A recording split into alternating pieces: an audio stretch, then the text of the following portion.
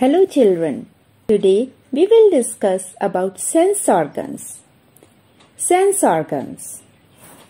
Sense organs are the body organs by which we are able to see, smell, hear, taste, and touch or feel. There are five sense organs and they are eyes, ears, nose, skin and tongue. Now let's see what do we do with our sense organs.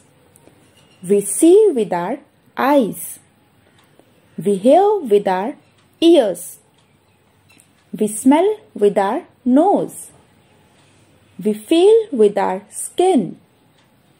We taste with our tongue. So, now you tell me children, what do we do with our eyes? We see with our eyes. Very good. What do we do with our ears? We hear with our ears. Well done. What do we do with our nose? We smell with our nose. Excellent. What do we do with our skin? We feel with our skin. Very good.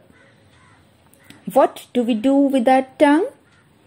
We taste with our tongue. Yes. I hope you have understood the concept of sense organs. Bye.